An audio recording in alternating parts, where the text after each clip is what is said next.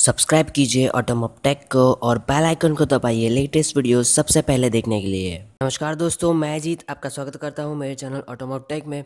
एक न्यूज़ आई है Tata commercial vehicle की तरफ़ से कि टाटा लॉन्च करने वाली है दो नई बसेस और उसमें होगी टेक्नोलॉजी बिल्कुल नई और जो अभी रनिंग में बस चल रही है इंडिया में, उससे बहुत ही बेटर होगी और इको फ्रेंडली भी हो सकती है। तो मैं आपको इस वीडियो में बताऊँगा कौन सी दो बस नई है, कौन सी टेक्नोलॉजी उन्होंने यूज़ की है तो इस वीडियो को अंत तक ज़रूर देखिएगा।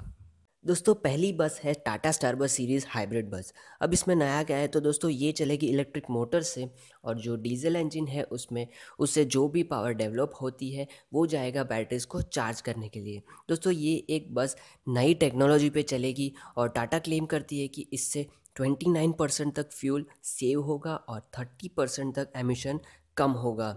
इंजन सिर्फ़ बैटरी को चार्ज करने के लिए लगाया गया है और बस सिर्फ़ और सिर्फ़ चलेगी इलेक्ट्रिक मोटर से। दोस्तों, अब इस बस में बहुत सारे फीचर्स आपको मिलते हैं ड्राइवर्स के लिए और पैसेंजर्स के लिए। अब पैसेंजर की मैं बात करूँ तो इसमें आएगा TV AC WiFi charging points और थोड़ी बहुत स्पेस आपको मिल जाएगी सीट के आसपास अम्ब्रेला वगैरह रखने के लिए। और ड्राइवर की मैं बात करूँ तो ड्राइवर के लिए आएगा एक बड़ा सा टच स्क्रीन जिसमें नेविगेशन फ़ीचर होगा जीपीएस होगा और सीसीटीवी तक का भी फ़ीचर आपको मिल जाएगा। और ट्रांसमिशन की बात करूँ तो ये बस आएगी ऑटोमेटिक ट्रांसमिशन में।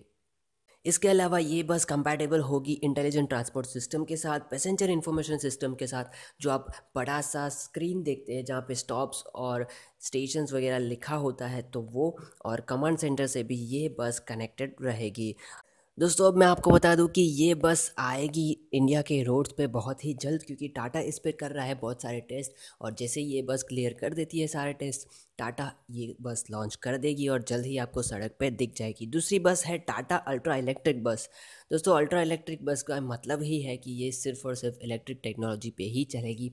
तो ये बस इंडिया की सड़कों से काफ़ी दूर है क्योंकि अभी इंडिया में उतना डेवलपमेंट नहीं हुआ है कि जगह जगह पे चार्जिंग स्टेशन हो और इलेक्ट्रिक व्हीकल्स को लेके उतना भी डेवलपमेंट इंडिया में नहीं हुआ है। तो पहली बस जो मैंने बताई, हाइब्रिड बस, वो तो बहुत जल्द आ जाएगी इंडिया के रोड्स पे, लेकिन जो अल्ट्रा इलेक्ट्रिक बस है टाटा की उसको काफ़ी देर लगेगी इंडिया दोस्तों, ये थी एक न्यूज़ टाटा कमर्शियल व्हीकल्स की तरफ़ से, जिसको मैंने डिटेल में एलेबोरेट करके आप सभी को बता दिया है।